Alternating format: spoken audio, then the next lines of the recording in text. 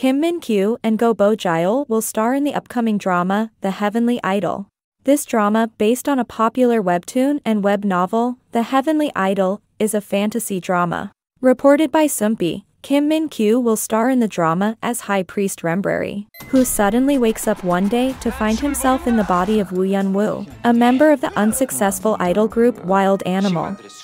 While Go Bo Gyeol will star in the drama as Kim Dal, Woo Yeon Woo's number one fan.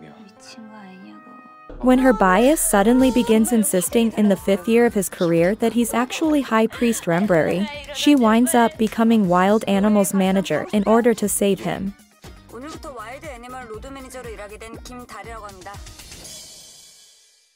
This drama received enthusiasm from Korean drama's fans. The premiere of The Heavenly Idol on February 15 at 10.50 p.m. Korea Standard Time.